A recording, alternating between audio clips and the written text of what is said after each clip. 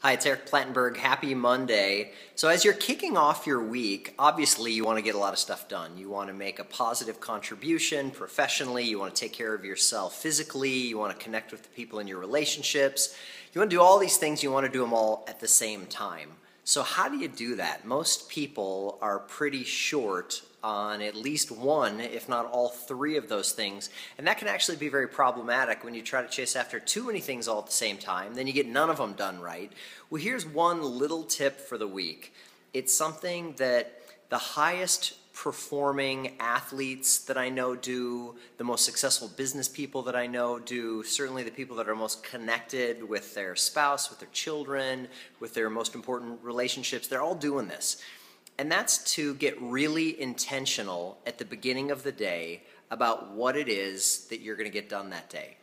Take 5, 10, 15, even 20 minutes to just review your day in your mind prior to diving into it. There's so many people that hop up in the morning and they hit the snooze bar four times and then they're late and then they run off to their very first meeting and they never take some really good, specific, intentional time to be reviewing their day, creating their day, if you will, in their mind before it actually happens.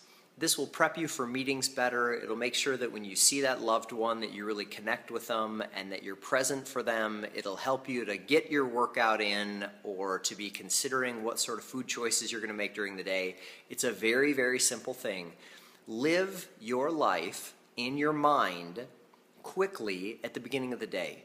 Just breathe it in, see how you want it to feel, what do you want it to look like, and then when things go off, when a curveball hits, it's no problem because you'll have already played out some of the options.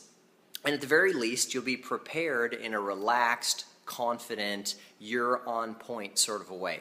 Very, very small things make massive impacts. Try this one out. Have an amazing week.